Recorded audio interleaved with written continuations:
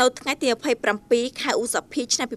ឯកឧត្តមមករាប្រធានក្រុមប្រឹក្សាខេត្តពោធិ៍សាត់រួមដំណើរជាមួយសមាជិកក្រុមប្រឹក្សាខេត្តប្រធានក្រុមប្រឹក្សាក្រុងនិងក្រុមប្រតិបត្តិសម្ព័ន្ធយុវជនស្រឡាញ់សន្តិភាពសង្កាត់ផ្ទះព្រៃចៅសង្កាត់មេភូមិបាននាំយកអង្គរបស់ឯកឧត្តមម៉ៅធនិនអភិបាលខេត្តពោធិ៍សាត់និងលោកជំទាវចែកជូនប្រជាពលរដ្ឋក្នុងភូមិចំការជ័យខាងជើងសង្កាត់ផ្ទះព្រៃក្រុងពោធិ៍សាត់ចំនួន30គ្រួសារ ឯកឧត្តមមករាបាននាំនៅការនឹករលឹកនិងផ្ដាំផ្ញើពីសំណាក់ឯកឧត្តមម៉ៅធនិនអភិបាលខេត្តនិងលោកជំទាវដែលតែងតែគិតគូរដល់សុខទុក្ខនិងជីវភាពរស់នៅរបស់បងប្អូនប្រជាពលរដ្ឋជានិច្ចនិងបានចោះជួយដោះស្រាយទាន់ពេលវេលាឯកឧត្តមបានមានប្រសាសន៍លើកឡើងថា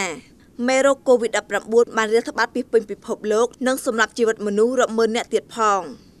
នៅក្នុងប្រទេសកម្ពុជាមានអ្នកផ្ទុកមេរោគ COVID-19 ចំនួន122នាក់បានព្យាបាលជាសះស្បើយ122នាក់ហើយប៉ុន្តែប្រមាណថ្ងៃកន្លងមកនេះបានឆ្លងថ្មី2នាក់ទៀតតាមជើងយន្តហោះមកពីប្រទេសក្រៅ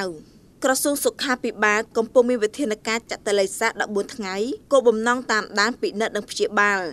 ទោះបីមេរោគ COVID-19 មានការថមថយចុះក៏ដោយយើងត្រូវតែមានការប្រុងប្រយ័ត្នខ្ពស់គ្រប់ក្រុមគ្រួសារនិងសហគមន៍ទាំងមូលតែបើយើងមានការធ្វើប្រហែសនោះជំងឺនេះនឹងមានការកើតឡើងវិញជាក់ជាពុំខានដើម្បីបញ្ជាបាននូវការឆ្លងយើងត្រូវតែអនុវត្តតាមការណែនាំរបស់រាជរដ្ឋាភិបាលកម្ពុជានិងក្រសួងសុខាភិបាលឲ្យបានត្រឹមត្រូវ